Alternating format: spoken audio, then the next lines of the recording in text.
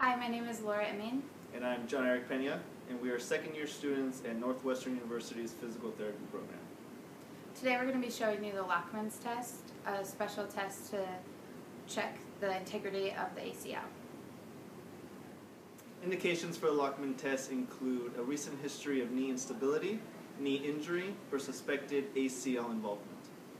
Contraindications include any recent knee surgery, any pain with the test, or any swelling, muscle guarding, or limited knee flexion that's present.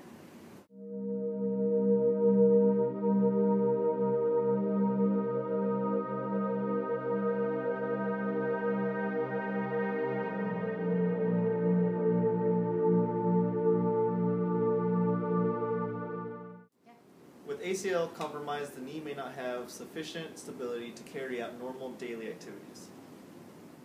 It's therefore important to determine ACL integrity quickly after a suspected injury and proceed as needed.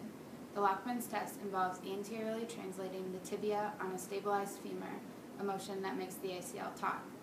The test is performed in open pack in order to decrease the influence of potential muscle guarding. The anterior cruciate ligament is one of the most important structures for knee stability. It reaches from the posterior and medial aspect of the lateral epicondyle of the femur to the anterior and lateral aspect of the medial tibial plateau. The ACL has been shown to absorb nearly 90% of anterior tibial translation on the femur, and it also limits internal rotation of the tibia.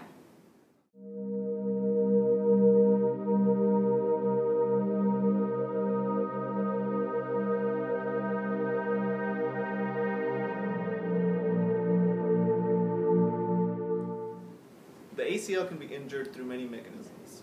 In open kinematic chain, you can have an excessive anterior translation of the tibia on the femur.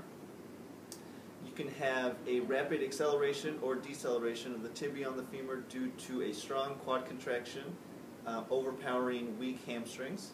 You can also have injury to the ACL in close kinematic chain. Uh, an anterior force directed on the femur with a fixed tibia excessive internal rotation of the femur with the fixed tibia, and excessive hyperextension of the knee. During dynamic activities such as jumping, landing with an internally rotated femur and having valgus at the knee can also cause injury to the ACL.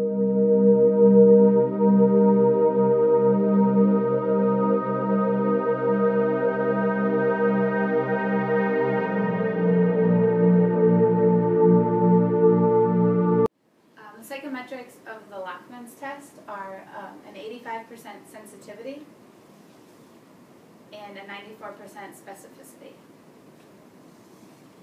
Very good. The Lachman's test is a very easy test to administer. The therapist gets as close to the affected knee as possible and places it in 20 to 30 degrees of knee flexion to place into open pack position. One hand is placed on the distal and anterior aspect of the femur, and the other on the on the proximal and posterior aspect of the tibia. The thumb can be used to feel for anterior joint line excursion and, and feel during and at the end of the exam. The test consists of a quick and forceful pull of the tibia anteriorly on the femur.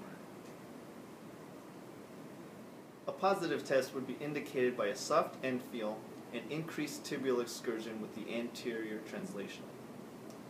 A false negative test may result if swelling or muscle guarding is present. Hello, Laura. Hi. My name is John Eric Pena. I'm going to be your physical therapist today. Um, what I'm going to do is a special test on your knee to check the strength of one of the ligaments inside of it, okay?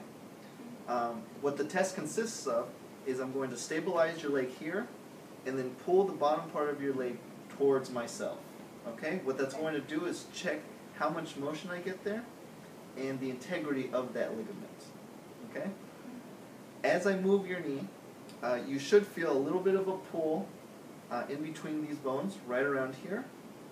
Um, and I'm just looking to see how much motion I get. Okay. Okay, okay.